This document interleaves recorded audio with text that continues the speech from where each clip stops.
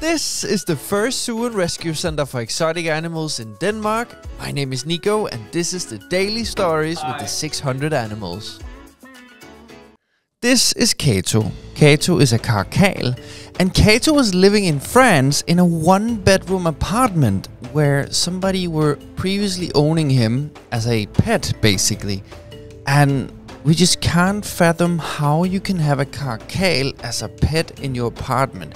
They dangerous, they're aggressive, they're not domesticated, but we're just happy that he's living here in the rescue zoo now.